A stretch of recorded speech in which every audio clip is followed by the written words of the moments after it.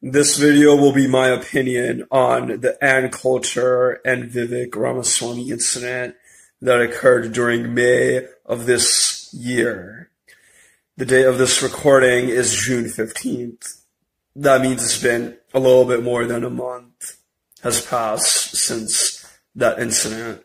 Ann Coulter is definitely not a good person based on her past behavior. She was targeting and attacking the widows of the 9-11 incident. There are articles up from 2006 that claim that Ann Coulter was attacking the widows of 9-11. A lot of people are starting to label Vivek Ramaswamy as a sellout if he was a sellout, then it's not really different from what most Indians and most human beings do.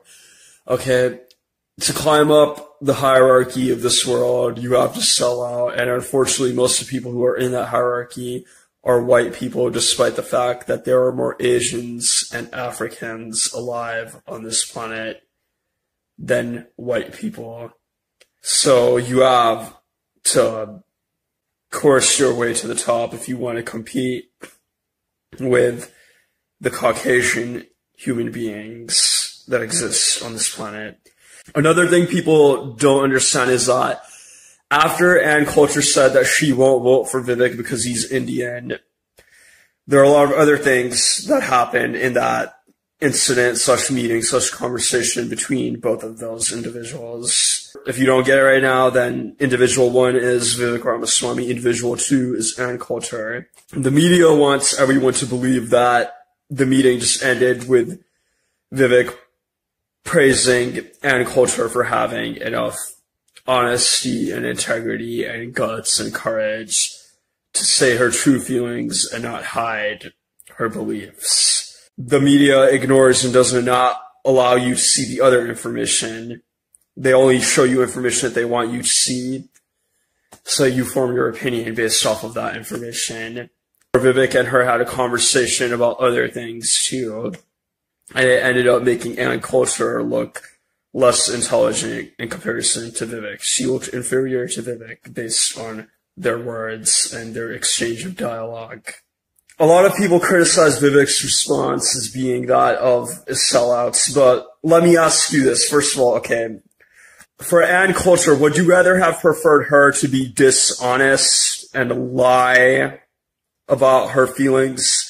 Would you prefer her to be under closet racist or open racist? I think it's better that she exposes herself as a person that discriminates against other people based on their ethnicity and racial background because she admitted it instead of just lying about it. Because the Democrats, they always lie about their how they themselves act. Hillary Clinton is going to pretend like she's not racist, but the truth is that she is a racist. And now I might be in danger. My life might be in danger. I might be vulnerable to getting killed now or kidnapped now because I dare say that. The Ku, you want to know why the Ku Klux Klan wore those robes? it was not just to hide their identity from law enforcement. It was to also hide their identity from their own victims. It was to hide their own identity from people of color. Because when they would take that mask off, then they would pretend to be nice to people of color. They would pretend like they're friends with a person of color in order to, to find them when they're vulnerable, in order to lure them into a sense of, a false sense of security but when they put that mask on, then they can rampage as much as they want to. But after they take that mask off, they're going to pretend. They're, I mean, the hoodie, the hood, not the mask. After they take the hood off, then they're going to pretend like they're friends with colored people who they deem to be inferior. If we're going to have racist people, then it's better to have those racists be individuals that don't wear masks or hoodies that don't try to conceal themselves because that way you know who they are.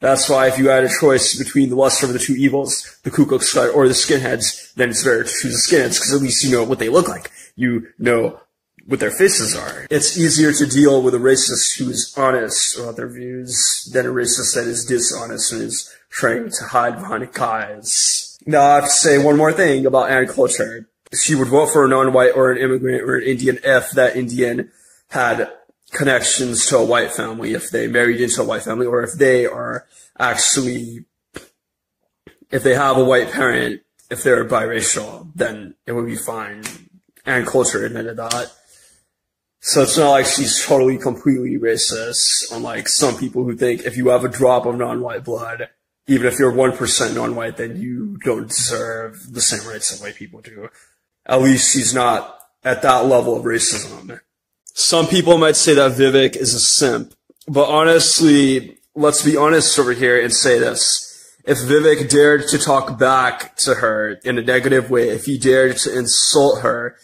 or call, even call her a racist, then you know what would happen, right? He could become a victim of cancel culture on the Republican side. He could become a victim of attacks. You saw what happened with the Carolyn Bryant case. So how can Vivek be safe from such things? He'll go from being a wealthy person to a middle class person then when it comes to his economic status. He could lose a lot of things. If he dared to attack back against her, if he dared to say something bad to her, if he dared to call her a racist, or if he dared to try to insult her based on her looks or her beliefs, if you dare to use negative, vulgar language against her, if you dare to roast her, then what would have happened? Her white knights would have come in. Not just white people, but the, he would have to deal with the feminists too, not just the pro-white racists. Now you have to deal with two people. The third group he would have to deal with would be the black simps, the ethnic simps that worship white women and put them on a pedestal. He would also have to deal with a fourth group of people, which would be the ethnic females that follow the lead of white women and make them their idols and role models. Vivek took the safest route instead. All these people who are insulting him, claiming that he's a simp, and they're insulting him for saying that she was brave and had the guts, that Ann Coulter had the guts and was brave they would be hating on Vivek. They would be hating on Vivek and insulting Vivek even more if he dared to call Ann Coulter out because Ann Coulter is a woman and is white and is in power.